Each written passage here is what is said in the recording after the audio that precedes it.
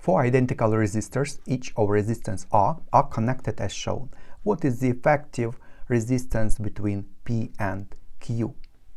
So you may notice that if we consider P and Q, this one and these three resistors are in parallel and we can draw it like this P 1 and 1 2 3 and how to find the effective.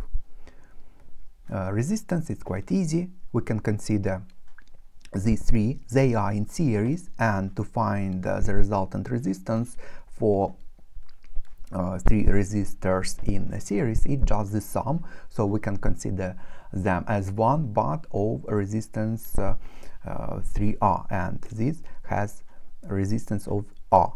And then this one and this one are in what parallel and for parallel we apply formula 1 over r total is equal to 1 over r1 which is r plus 1 over 3r because we consider the 3 as 1 but with resistance of 3r and just common denominator on the right hand side is 3r 3 plus 1 4 and then rt is 3r over 4 so it's a.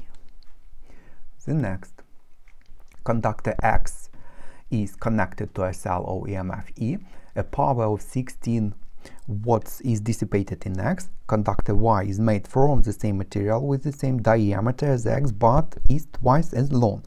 A cell of EMF to E is connected to Y. Both have negligible internal resistance. What power is dissipated in Y?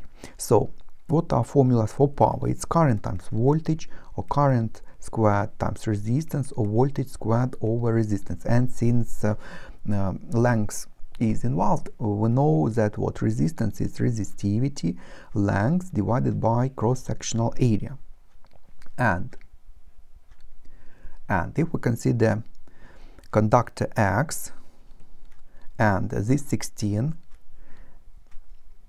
can be found as if we consider this formula since there are no um, any other conductors or resistors in series and also internal resistance is uh, negligible voltage across X is directly EMF so if we use this formula it becomes E squared over resistance. But we need uh, lengths uh, to be involved. So we can uh, rewrite uh, resistance like this. It's resistivity L and divided by cross-sectional area so it goes up.